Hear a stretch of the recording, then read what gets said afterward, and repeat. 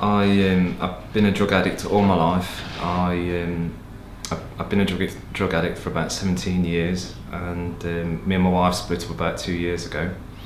I found myself as being homeless so I had to find somewhere and I came here and they, they were absolutely brilliant. They got me somewhere within two days. I, I came in and filled the forms out and two days later they rang me and said, um, can you get here in half an hour kind of thing. And they got me in straight away. I, uh, I went into the other block into a single room to start with and then um, they moved me eventually over into the other block and I've got my own flat now and I bought everything and got everything that I need to go on to the next step. Ultimately, I want to get my own Trent & Dove flat and, and go back to work full time because I, I, normally work, but at the moment, with me being on a script and I, have stopped taking drugs now. I don't take drugs anymore, apart from the odd joint here and there and what have you. But I'm not a heroin addict anymore as such.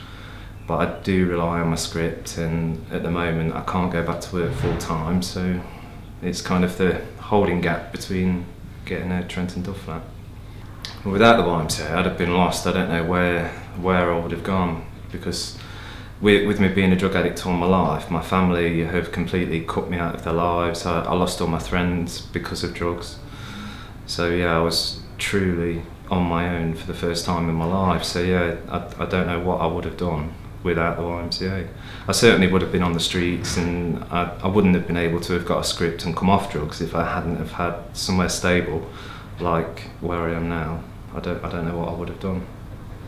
I guess I don't really get the option to do it, but thank you for, for having me and putting up with me. I know it's not always roses, but yeah, just keep on the good work and if there's anything that I can help with, then just let me know. Well, speaking from experience, before I was told to come here, and I had no idea that it was here. I knew there was the YMCA place near the town hall, but that was all. I had no idea about anything to do with any of the sites.